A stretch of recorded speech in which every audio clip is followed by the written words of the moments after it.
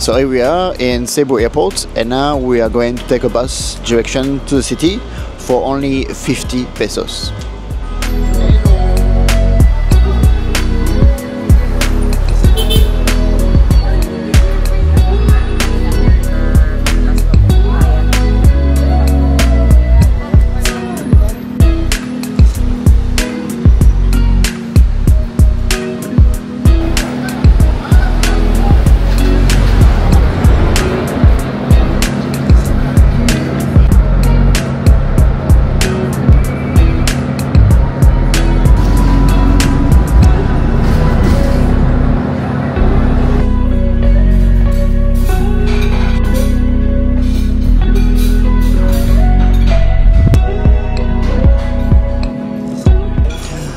So we just arrived to the bus terminal of Cebu, and before take another bus, we decided to take a little break, a lunch, and for that we took one of the Cebu specialty, which is a pork belly, and we also have a couple of couple of rice to accompany it, and an eggplant.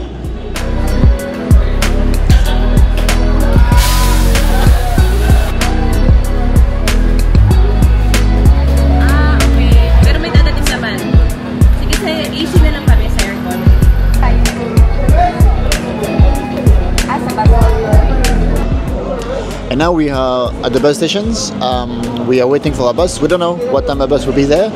We ask a couple times and they say we have no idea. It's on the way. We don't know when, but it's on the way. Uh, welcome to Philippines.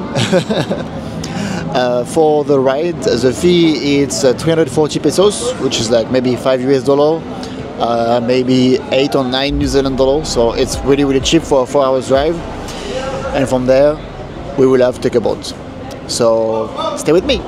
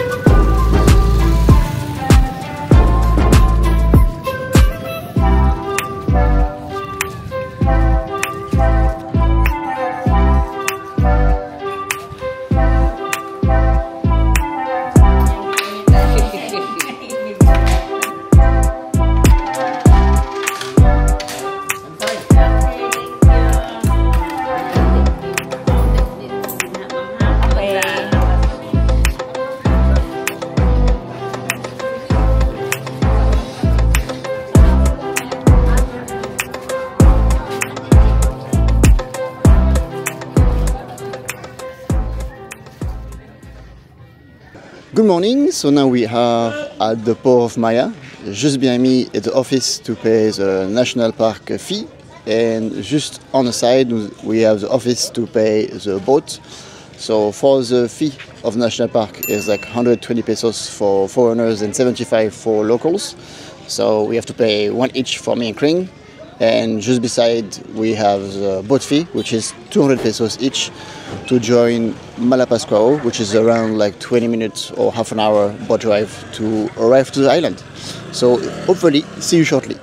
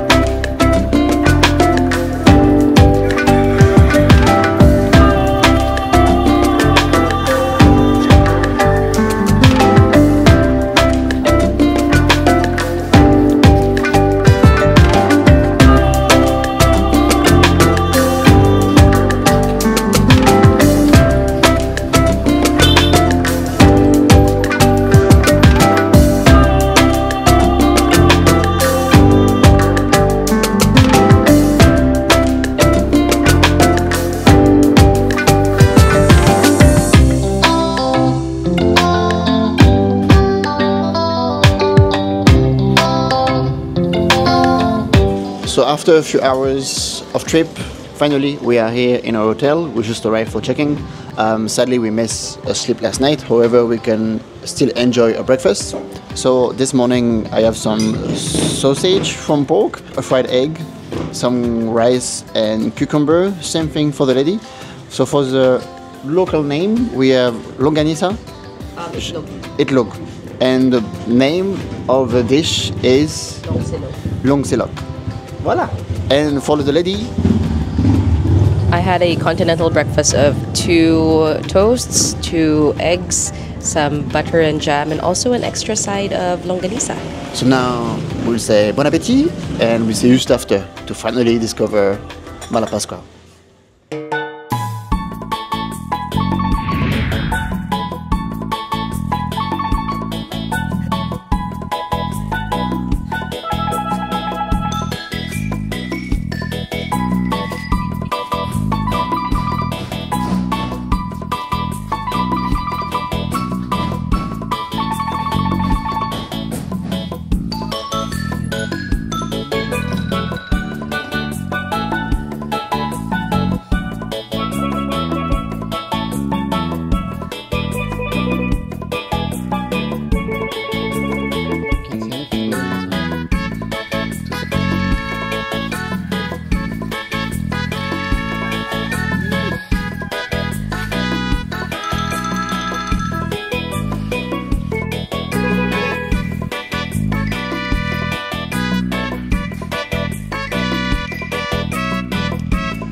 So here we are at our second hotel. So we decided to stay just a few nights at the first one, uh, was pretty cheap.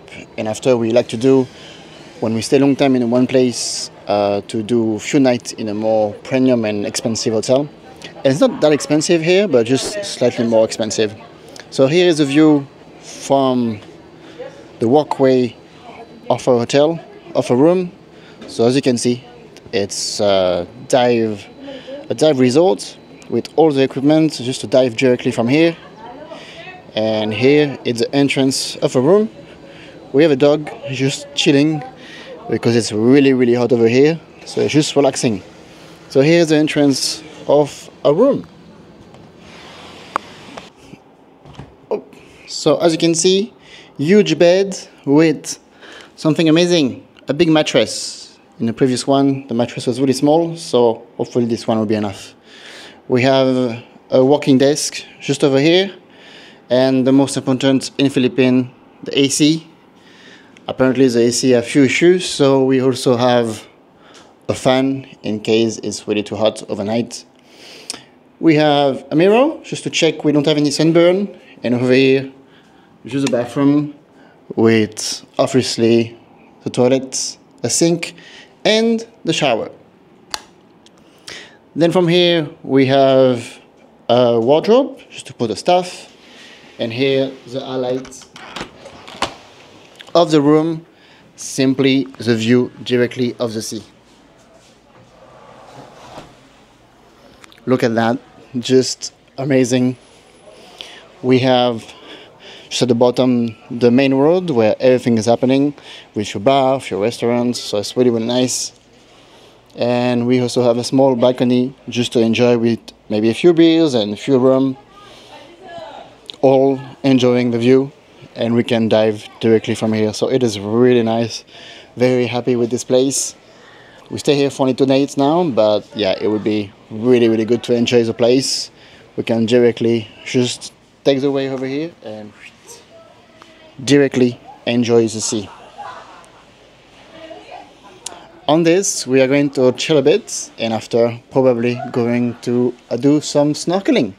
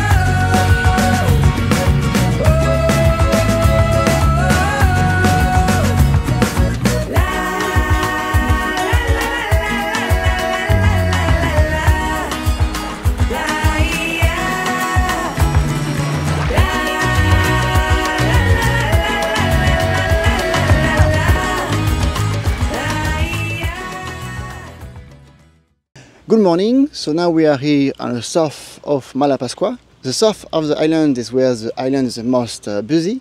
But if you want some quiet and some peace, I invite you to go to the north. It's very quiet, amazing beaches over there, white sand, beautiful water, and it's perfect just to relax and to chill. Now, if you want to go to the North Island, or at least the north part of the island, you have two options. You can walk, which will take you between 35 to 45 minutes, and with the heat, it can be quite challenging. Or you can just take a motorbike, which will cost you around 50 pesos. Honestly, it's a bargain. And now we are on the north part of the island.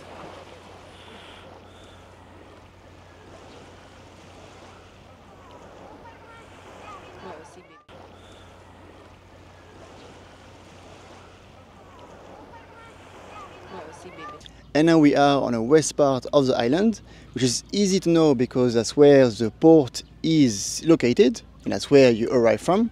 And here is a perfect spot for the sunset uh, lovers. Just behind Kring, there's a perfect bar or the perfect place to enjoy a lovely sunset. The south of the island is where everything is happening. It's where it's most busy, but as you can see in the morning, I'm almost alone, so it's still very quiet. The island is mostly famous for this diving. So in South Island, that's where you will find most of the diving center. You can just walk around to try to find the one you will like because here it's not like every dive center offers the same price.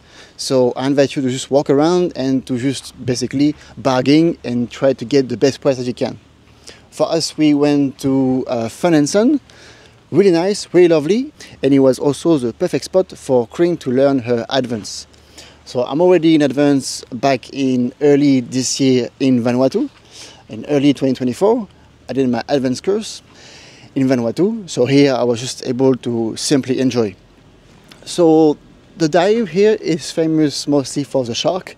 There is many reef sharks, uh, mostly the thresher sharks, and also some bamboo sharks, some white-tipped sharks. Anyway, there's quite quite a lot to do over here, so it's pretty cool. Obviously, when you dive, is never 100% sure to see some sharks. But here the island is really, really famous for because the sharks come here just to get washed. So it is very natural. So the island is really famous to come here and to see the sharks. So that's why during the plain season, it's pretty busy. At the moment, we are on the low season because we are at the end of May, early June. So it's a rainy and typhoon season. However, as you can see, it's still amazing weather it's barely any rain. However, sometimes you can have a poor visibility under the sea, like it was for us. The average of the visibility was maybe 15 to 17 meters max. Um, so not the best, but still pretty good to see some sharks. On this, I will leave you with some GoPro Rush that we record during our dive and just enjoy.